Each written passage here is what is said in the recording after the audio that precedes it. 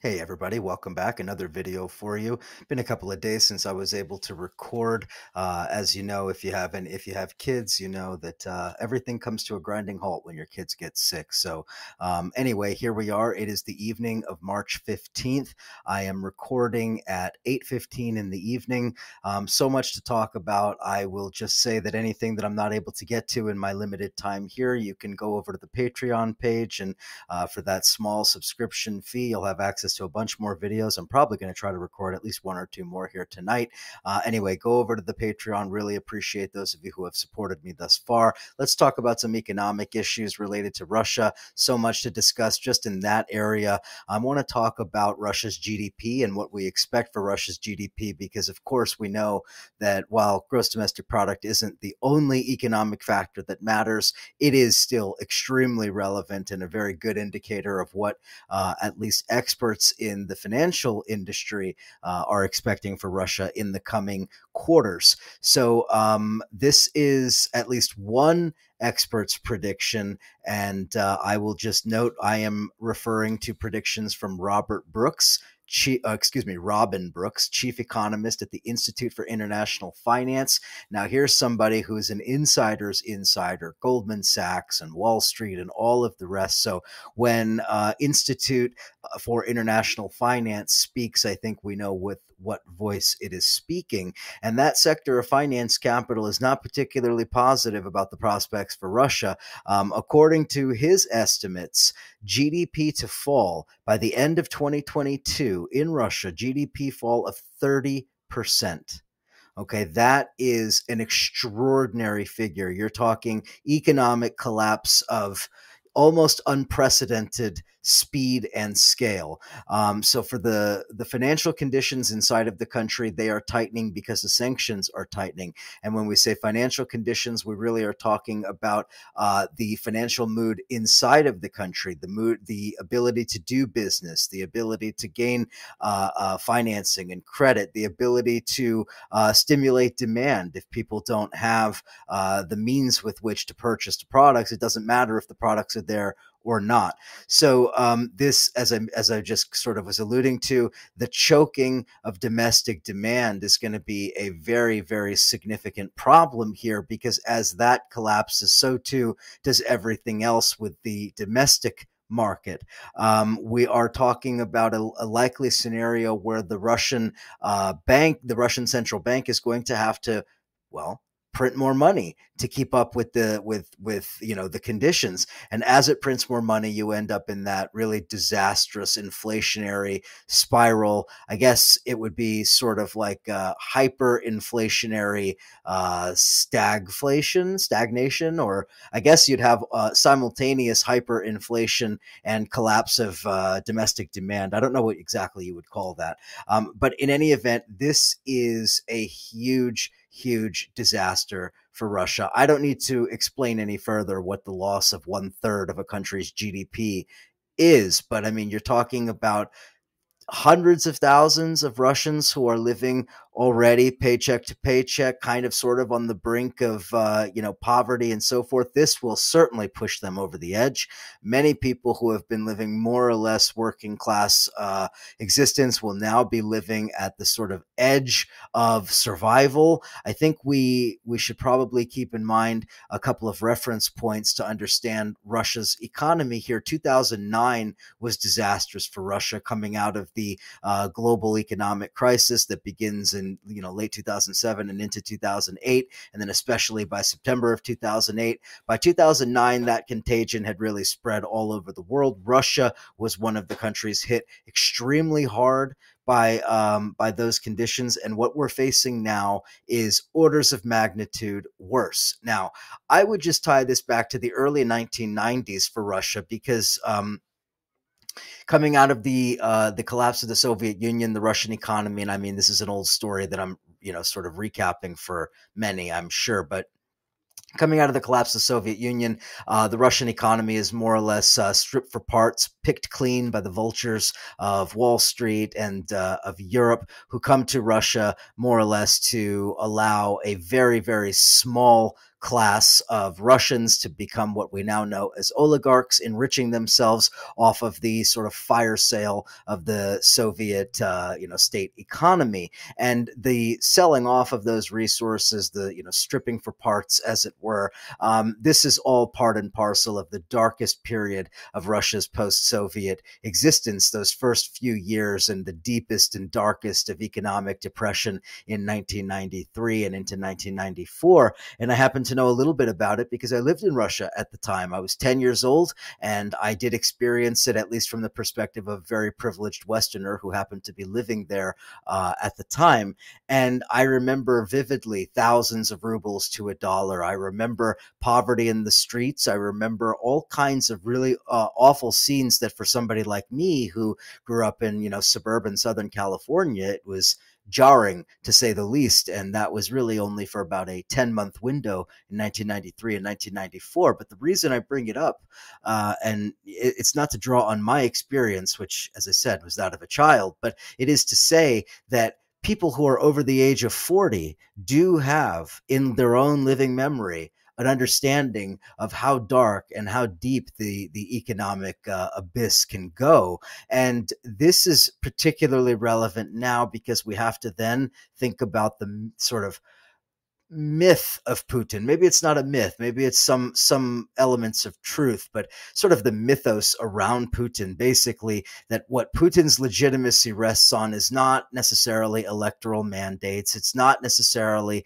you know his shirtless photos or his virile manhood or popularity or anything. It really rests on a very simple and yet powerful premise that Putin restored order after the chaotic disaster of the 1990s. And that Putin's legitimacy is really rooted in this idea. And here we are, 2022, 30 years later, 22 years after Putin ascends to power, and Russia finds itself in a mess very similar economically to those deep, dark early 90s days.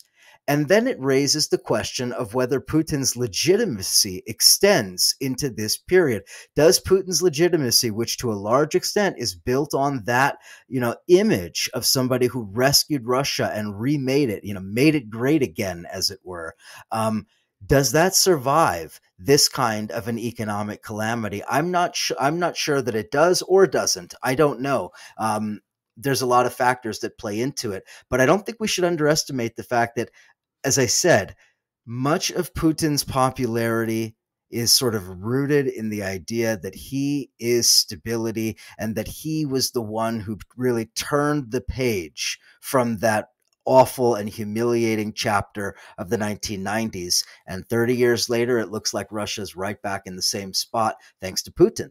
Or at least that's how it might appear to some we shall see. All right, I want to talk a little bit more about the mood in Russia because this then sets the stage for uh, uh, another issue that needs to be discussed. If you're a Counterpunch Plus subscriber, you may have seen my article from last week. The Kremlin goes neocon. Uh, to summarize it very quickly, my my basic argument is that Putin has more or less copied almost verbatim most of the uh, plan that was, uh, you know, uh, executed by the neocons, by Bush, Cheney, Rumsfeld, etc., vis-a-vis Iraq. He's basically imported that onto Ukraine. Everything from the completely bogus justifications about, uh, you know, mushroom clouds and smoking guns in 2003, and Putin's justifications about the, you know, the potential of Ukraine developing a nuclear uh, weapon and aiming it at Russia. I mean, it was all so similar. The creation of reality reality, the manufacturing of facts on the ground, overwhelming force, shock and awe,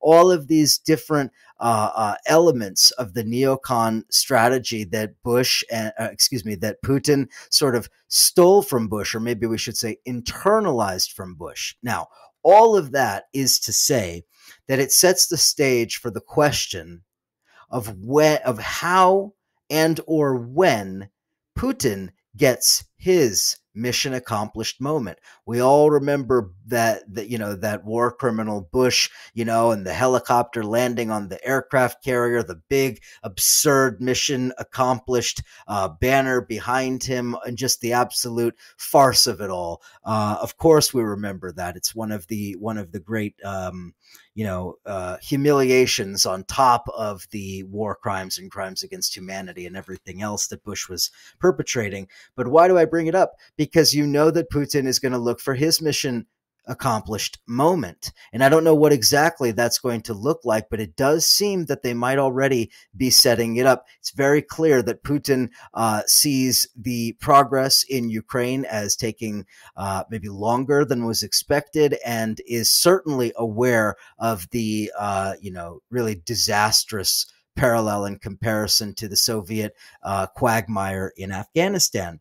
So, on Russian television. This is on uh, the program hosted by the very well known, very popular Kremlin propagandist named Solovyov. Uh, he had two very, very pro Putin guests on the program, and both of the guests were very stridently uh, arguing to end the war. Now, think about this pro Putin guests on a pro Putin program arguing to end the war. It must be said that this this program and, and really this channel, this is very much sort of coordinated. This is not something that would have just happened by chance, like they're just shooting from the hip and no one has, uh, you know, pre-prepared anything. This is a pre-recorded program that obviously was okayed from very high levels. I'm not saying Putin signs off on it necessarily, but who knows, including some of those oligarchs who are not so happy that their wealth has been destroyed, that everything that they have, you know, stolen from the Russian people and, and, and parked in offshore accounts is all in jeopardy, right? So now here we have on Russian state TV uh, two hardcore pro Putin guests, both of them saying it's time to end the war. One of them arguing the sanctions are a disaster, that the military, uh, you know, in, that the invasion itself and the military progress has been a failure. And the fact of the matter being that Russia has absolutely no business continuing the war in Ukraine, most specifically saying that the Ukrainian military has proven itself to be not some, you know, paper tiger that could just be run through, but actually a pretty well battle hardened force that has you know, been sort of forged over an eight year simmering war in Donbass, a military force that is not intimidated by the Russians, um, and a military force that is obviously having some kind of covert support. So the question really, again, comes to what exactly is Russia supposed to keep doing there? I will just say the two hardcore Putin, you know, sort of pro Putin propagandists. The first one, his name Shakhnazarov. Shakhnazarov saying uh, this about, you know, Ukraine's military, basically saying there is no chance no chance of a pro Moscow government being installed in Ukraine. Number one, because it doesn't seem that Russia has the upper hand in that way, and more, probably more to the point, there ain't nobody in Ukraine that's stupid enough to take that kind of a position, knowing that they'll probably not live to see, you know, the following month. So clearly, there are elements within the Russian state that are beginning to argue for ending this and ending this soon. Uh, also talked about the real danger of protests inside the country, of the continued isolation of Russia, etc. Now, the other guest is a guy named Bagdasarov, and Bagdasarov uh, was also talking about sanctions from the other side, talking about that if Russia doesn't end the war and end the sanctions quickly, those sanctions on Iran are going to be undone. Iran will fill the Russian gap with its oil and gas and so forth. That Iran and Kazakhstan and some of these other countries will have no problem selling energy to the West and undercutting Russia and forcing Russia into this extremely isolated, economically isolated position. Again, I just want to stress this was a conversation between pro Putin voices on a pro Putin program on a pro Putin network. Okay, so I think that we need to sort of read between the lines here and understand it at the very least. It just even if we want to be generous to Putin in our interpretation of this, we could say at the very least that clearly segments of the ruling class in Russia are very unhappy and are willing to air, air those grievances publicly. Now, are they grievances against Putin, or is this sort of priming the pump, as it were, priming public opinion, preparing it for a mission accomplished. Yes, we denazified. Yes, we degraded their military. Yes, they'll never be able to develop a nuclear weapon and harm us. Yes, they're not going to be into NATO, whatever it might be. If the Russians can get these kinds of concessions and can turn around, and Putin specifically, turn around and say to his own population. See, mission accomplished, you know, probably with a, you know, fighter jet uniform, or maybe he'll be riding on a horse without a shirt or whatever shit he'll do, you know. Uh, he's gonna he's looking for that moment and i think we might be seeing the first indications that there's something bubbling up in uh, russian popular media hinting in that direction. Okay, last couple of minutes. I, I would be remiss if I didn't talk about the massive cyber attack that hit Israel yesterday. Um, you know, again, I'm cautious when I talk about issues like this because there's simply no way to know exactly what's going on. None of us none of us are, you know, Mossad or FSB or CIA or any of these intelligence agencies. So we don't have any inside information. We can simply guess at what might be going on here. And I would like to just point out a couple of things. First, I don't have a hard and fast theory on exactly what happened here. I have probably four potential options for what could potentially what possibly was happening and I'd be willing to entertain others. If other people have them you can even throw them into the YouTube comments if you'd like. Um, the first is the timing of this. Israel is hit by a cyber attack 24 hours I think 24 hours or maybe even less after it announces that it finally will go along with sanctions against Russia. Oh dear. Theory number 1 Russia is retaliating against Israel for going along with US sanctions on Russia and they have attacked Israeli cyber infrastructure.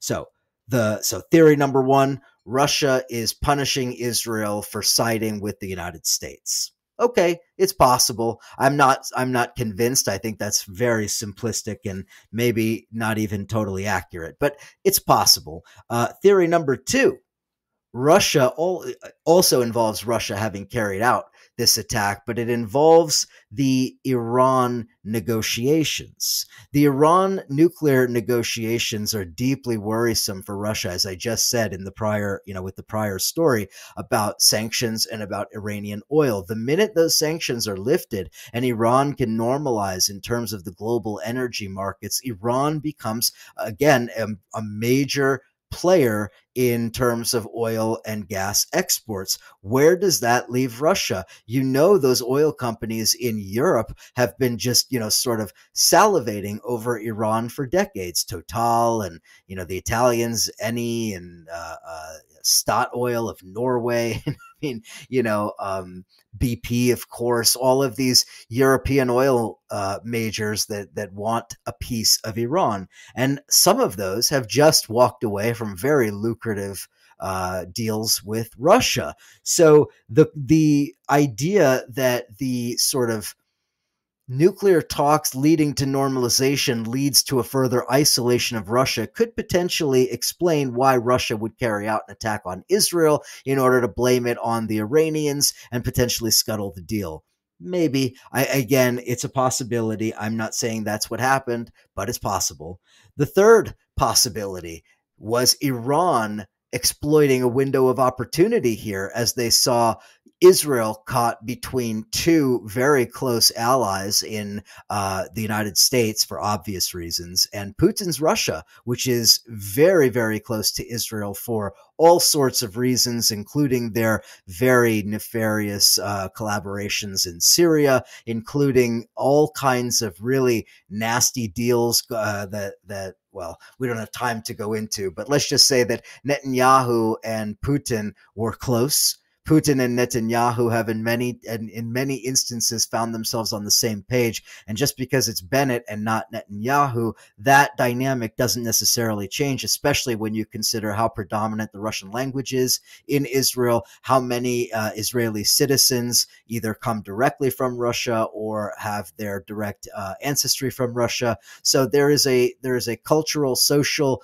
political, economic sort of closeness there. So what is the um, uh, Iranian position? Well, the Iranians just fired some rockets at a U.S. base. Did the Iranians also take a window of opportunity to strike back at the Israelis for, well, any number of cyber attacks that they have carried out from the Stuxnet and the Flame and the Gauss viruses to the assassinations and all the other things that the Israelis have carried out against the Iranians. Also possible. Hey, guess what, conspiracy fans? Israeli false flag is also possible too. Did the Israelis potentially, uh, you know, uh, manufacture something to take down some of their own websites in order to potentially blame the Iranians and scuttle those nuclear talks. It's also possible, considering Israel's history, considering uh, just how dangerous they find uh, Iran and uh, you know the United States' negotiations. Again, this has its roots going back to the Obama years.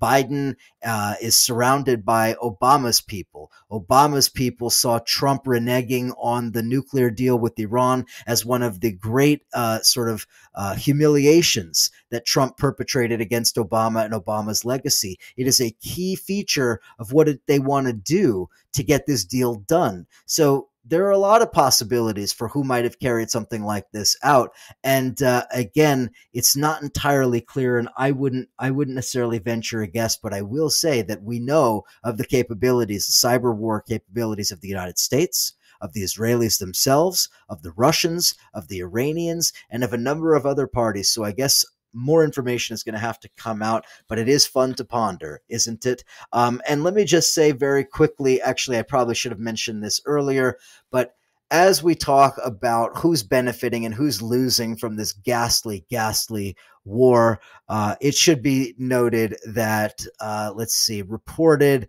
as of yesterday in a variety of newspapers and media outlets. Headline, actually, this was in Forbes War stocks are surging as Russia Ukraine conflict rages on. Lockheed Martin, Northrop up 20%. So, isn't that wonderful that in the end, Russia is getting economically hammered. The country is further isolated. The economy is collapsing. The currency is, is inflating. People are struggling. China is worried. Uh, uh, the global food supply is shrinking. And the weapons manufacturers are making a killing. War is a racket, ain't it? Gonna leave it there. Go over to the Patreon, patreon.com forward slash Eric Draitser. Lots more to talk about there. Let's see. I'm gonna give a I give a quick preview. I want to talk about Russian aviation. Uh, very interesting what happened with Bermuda of all countries. Uh, assassinations of Russian generals. I think we have three Russian generals killed in the last week and a half. That's Interesting. Uh, Putin's volunteers from the Middle East headed to Ukraine. How about facial recognition being used in Ukraine? Boy, that's a tool of genocide. Lots more to talk about. Go over to the Patreon. Talk to you again next time.